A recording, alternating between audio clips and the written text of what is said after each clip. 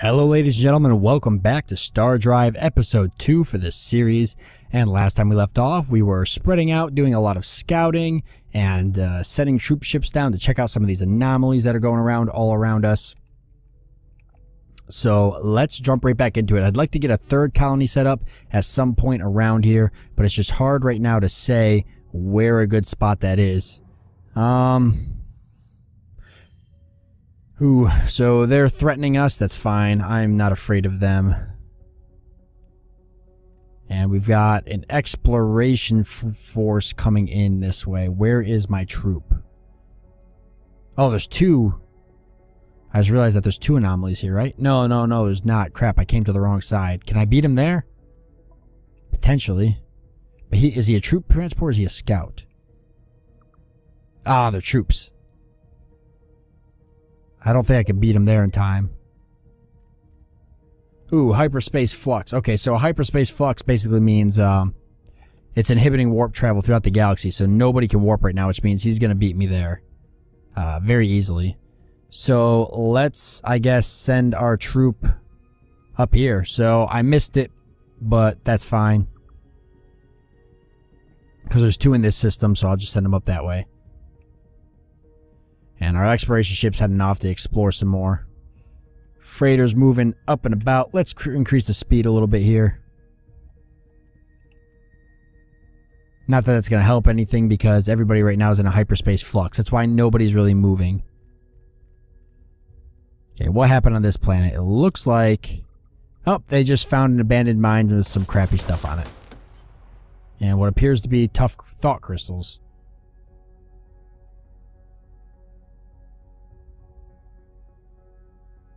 Oh man, plus one research per turn to the owner of this planet. Plus one research per turn. They didn't they didn't take the planet though. Owner of this planet gets plus one research per turn. It could be a very good research planet. Yeah, that's something we probably want to bank on then. Let's see, where's that planet? It's right there. It's fairly close to my system. Yeah, that's something we really want to bank on. Okay, ships can start uh can start warping freely again. Let's get... I need to get some troops together. How many troop ships do I have here now? I have two. Two troop ships is not enough, but it's a start. Where is that system? It's right here. Yeah, we want to capture that so we can get the science boost. So let's... Uh, we can make that just a strictly science planet.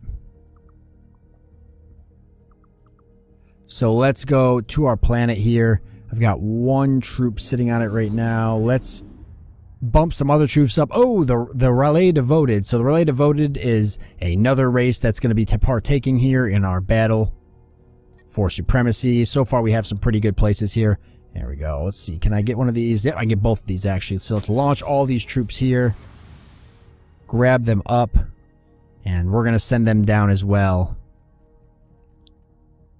Just have a nice big brawl colonize that for a research planet. Okay, so what do we got going on here? Uh, can I land on that planet before these guys destroy me? Probably not. think this is going to get blown up. Yeah. Oh, no, he made it. Somewhat. Ew, is he going to make that? Nope, he's not. There you go. Spinning out of control, and he exploded. But we did get on here. I believe we did. Did we get anything? Revealed we got another anomaly. Okay, let's pause for a second. Where is that ship? Did he not get that anomaly? We did. We got there. Okay. So he's heading towards the anomaly now. Let's see what we get. So it's a tomb. And tombs can have some pretty good stuff sometimes. Alright, so we discovered an ancient tomb, Horrors of the Ancient. Your forces enter the mysterious tomb and find evidence of a long-dead civilization. Deep within the tomb's halls, they discover a mysterious artifact encased in some sort of energy shield. They disable the shield and take the artifact. Upon returning to the planet's surface, they find themselves surrounded by the skeletons of the long dead, seemingly animated by the same energy field that had encased the artifact. So we got an artifact, the Birth Crystal. This mysterious crystal shard emits an uh, enigmatic radiation that induces good health and long life. We get a population growth bonus of 50%. Now, this artifact here, these are extremely powerful. There's several of them in the game you can get. Uh, this one is a very powerful artifact, and once you get it, it's yours forever unless you trade it away, but you can never lose artifacts. Uh, this one's particularly useful because now our entire empire is going to have a 50% population growth, which means we're going to blow up pretty quickly. Um, as for the skeletons, yeah, just we weren't even going to stand a chance.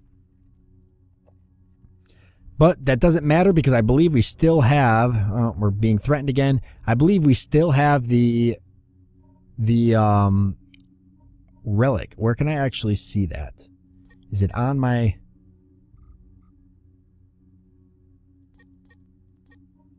I'm almost positive there's a place I can see the relic.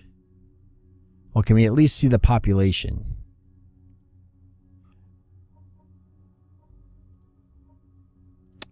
I really don't know where you see it.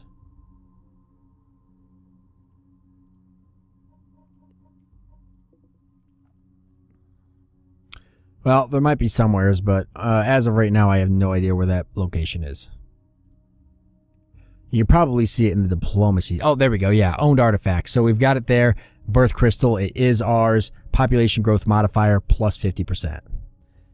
Very, very good indeed. All right, we've got all of our troops heading down there. They're almost all the way down there. As for the troops, we've got other anomalies around the area. Where is my other troops?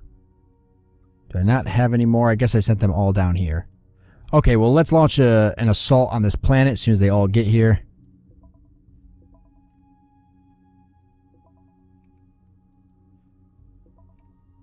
And here they go. So they're going to assault this planet here, and hopefully it's enough to take these guys out. I really don't know, honestly, if it is.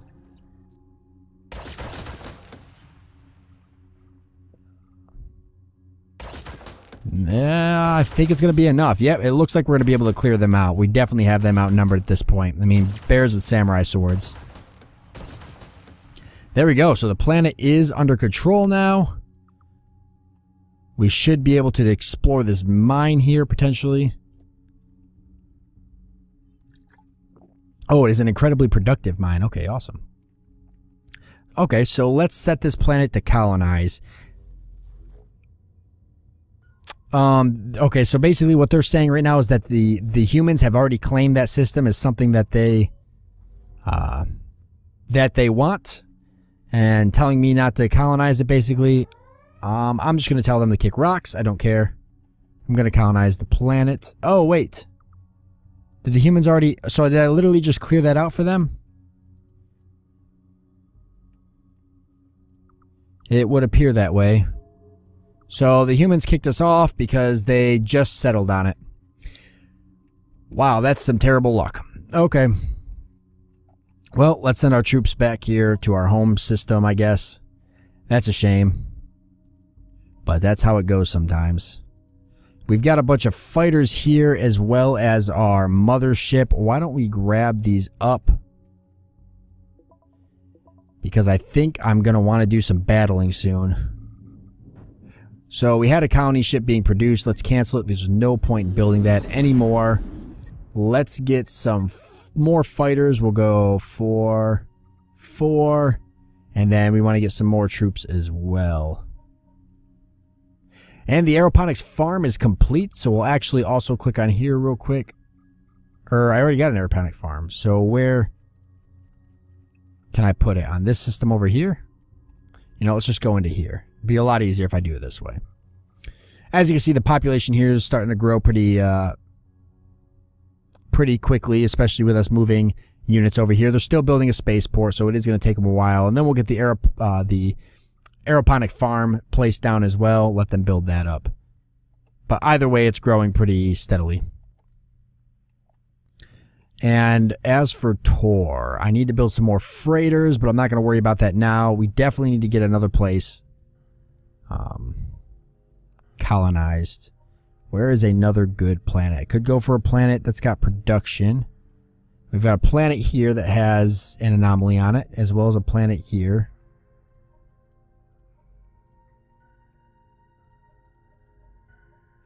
1.4, 1.5, 1.8, 1.2, but this holds 12 point, uh, 12.2 population. So let's set that up to be colonized. And actually, just to make sure I have it all good to go, let's make sure that colony ship is up near the top. And we've met the polyps. So I believe that is our final race, if I'm not mistaken. Pause the game real quick. So it'd be the humans. Okay, colony ships completed. Uh, how many races? Did we meet them all? Yes, we did. So we've got the humans, the Opteris, the polyps, and the Raleigh, de or Raleigh devoted. Raleigh devoted, yeah. However you say that. The relay devoted. That's what it is. The relays. So overall, not bad. The polyps and the humans are pretty much the closest to allies we're probably going to get um, because the Opteris and the relays are usually pretty brutal people. Where is my troops? Here they are. Okay. They're going to go, I think, okay, so we found a, a universe up here called Blackbox, which is kind of funny because we're playing with the Blackbox mod. And I definitely, Doc's World, Gremlins Vice, and these are actually named after some of the people who have worked on the on the mod. So that's where these names come from. So Febdards, I believe, Shooter's Plane, Devox Rock, uh, Gremlins Vice, and Doc's World. Gremlins Vice, I know being uh, Crunchy Gremlin, I believe is his name he goes by, and he's one of the main people that works on the mod. So that's pretty cool. They've got that whole system there. We definitely want to check out that because it could be something pretty neat uh, if they've got a whole system dedicated to themselves. As well as Gremlins Vice with a 2.9, 2.3, and a 7. These are all really, this is a really good system. Doc's World and Gremlins Vice are two extremely uh, amazing planets. It almost makes me want to divert from Squeezer over to there. Um, let's see. They want a mutual defense pact, pretty much just saying we're not going to attack each other. I'll go by that since I, I fear the humans probably aren't going to like us and the Opteris definitely are going to go to war with us at some point, I'll definitely take that. So I'm going to switch this colony ship over to this system here because we're going to go for, let's see, 2.9, 2.3, 2.5, 2.2. We're going to go for Gremlins Vice. He still is set towards that. Is there a way I can stop him from colonizing that? I think I got to go here and set this up. Cancel the colonize. There we go. Then grab the colony ship, and I want the colony ship to colonize. Uh, let's go for Gremlin's Vice. Definitely a system we need to uh, colonize. Okay, so the Opteris don't like us because they want to colonize that system. They can kick rocks. I will do whatever it is I need to do to make sure they, they're not allowed to colonize this system. And I want this planet as well, so I'm going to set that up to be colonized next. And then if I have to go to war with them, then so be it. That system is extremely valuable. Tor, Tor, what are you producing? You've got some Vulcan Thanes. Let's finish up this colony ship and get that heading out, ready to go. Let's get some more troops, and then let's get some more fighters. Two, three, four. One, two, three, four.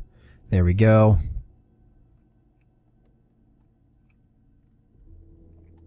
Yeah, I fear that we're going to have some issues with the Opteris in this system here. They're definitely not going to like me taking this, but I could care less. Okay, where is the anomaly? Ah, the anomaly is gone. They've they grabbed it. The Opteris grabbed it. I hate that. I wonder if I can grab up any more. Well, let's send our troops over here. This will be probably the last one that we can try to grab, and it might already be taken. You know what? I'll I'll grab one troop ship and send it over here. And the other ones. Or let me do this. Go like that, grab one troop ship. And send him over to this system. There we go. As for these troop ships, I'm going to keep them here. Because um, I'm going to want to probably be on one of those planets by the time the colony ship gets there. Or I want to be at least in the area. And the next colony ship's heading out that way. Now, it'd be nice to find some worlds, too, for production. Definitely Squeezer's a good world, so it's something to consider. I want that research role that the humans took, but I'll have to worry about that later. 1.9, spray would be a good production world. Okay, what's going on? Let's clear some of these out. Oh, there we go. Right click. Oh, they're going to hate me when I take this. And I love it. Sweet, we're about to get Gremlin's Vice. I was very worried that the Opteris would beat us to it, but they didn't. Alright, let's land our troops on Gremlin's Vice, and there we go. So they do fear us actually a lot. As you can see the three bars over here, I don't believe I mentioned it before. You've got your trust, your anger, and your fear. And they fear us um, because of our military strength, so that is good. And they're talking about military consequences against us. They're not very happy. But we've stored all of our troops there on the Gremlin's Vice. Now let's set it up uh, to uh, be a nice hubble for us. So aeroponic farm is not really too much of an issue right now, uh, but let's get a military outpost down. And then we'll go for the, actually, spaceport first. So spaceport, and then military outpost, and then the farm will drop just to get it. All right, there we go. Now, let's go into here real quick. Do I have this set up for, how do I have this? I don't have any governor on this. Do I want to set a governor up or do I want to, how is he doing with this? It looks like he's got it pretty under control. You know what? I'll, uh, I'll set a governor on both of these as well. Um, and have them run it since they seem to be doing a fairly good job so far. As soon as I think that they're, they're, uh, screwing it up, I will I'll jump in and I'll intervene. But other than that, things are looking pretty good. Uh, as for this system, pause real quick. I definitely need to get, and it looks like there's already queued up a little bit. I need to get some more freighters. A lot more freighters. And if I can actually pump out like one or two of them right now. Well, that works actually. Pump out three of them. There we go. And the freighters are all starting to move around a little bit. They're not the greatest off the bat, but that's okay. They get the job done. Colony ship's almost there to colonize that next planet, which will be very good. That'll give me some very strong food planets. And as you can see, everybody else is starting to spread as well. Um, I'd like to colonize some of the planets in between these systems as well. Is this just a star with no planet? Interesting.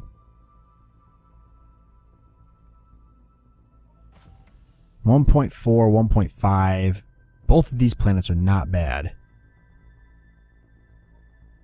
1.3 production on Runchi 3. Um, that could be a good production planet. Food's going to be rough. Yeah, let's set that up to be colonized. And holy crap, we discovered an ancient tomb. Horrors of the Ancient. So let's see what we've got here. Um, artifact granted nano collective controller. This is this is control device, so this is a control device linked to a semi-sentient swarm of subspace dwelling nano creatures. Whoever possesses the control device controls the swarm. Empire empire-wide production bonus 10%. Awesome. So that was a really good find. Um, activity and threat colonization activities continues high, so they're getting even more upset because I'm claiming more areas that they wanted. Probably because I colonized Doc's world, but um, I'm not even. Um, I don't even feel even a little bit bad about that. Okay, there we go. So getting all of that uh, colonized and getting it all set up and ready to go. Greetings, let's trade. We have all kinds of good stuff for you to buy. Let's have a trade treaty. Let's. Uh, me and the populace here will probably become good friends, I think, in this game. And then the humans, the uh, the humans are debatable, uh, but the Relay devoted and the Opteris we're not going to like each other. I can already tell. So where was that? Was where was where did I find that artifact? I guess it was in this system over here because I think I sent some troops over there. Speaking of troops, let's launch troops. And let's send them off. I think I have a mission for them. Or at least one of them. Let's head over to this system here. And check out that anomaly. I think that's going to be it for the anomalies. It looks like they've all gotten eaten up pretty quickly. It might be one in this system. The system's pretty well guarded, so I might be able to get in there, sneak in there, take something. That plant there's got a production of 2.3. That's insane. I'm right here in the middle of the map. Everybody's around me, and I'm in the middle. I'm not comfortable with this playthrough at all right now. All right, how are we doing here? So interstellar governance unlocked. So we've unlocked another research. Let's take a look at our research really quickly. Um, overall, not looking too bad. We're going for cryogenics next. It's going to help our colonies, our new colonies we've got, uh, to continue to build up. Physics, we went for subspace theory and got the 20% star drive speed. Let's see. By converting all of our engines to the reaction drive standard, we can achieve 20% faster sublight speeds and maneuverability. Let's go for the reaction drive. And then I think we'll start focusing on some military upgrades um, after that. Or the biosphere actually would be good. Uh, biosphere boosts production of or uh, population of planets. So that's definitely something we need to get our hands on. Where is a good area for me to set up a research area? Hmm. A nice research planet. Definitely the planet that was over here that got captured. That would have been a great research planet. Yep, and that's exactly what they're using it for. As expected. All right, well, we are out of time for this episode, so I'll have to figure it out next time. What we're going to do is, um, oh, we got an anomaly on this planet here. On this one?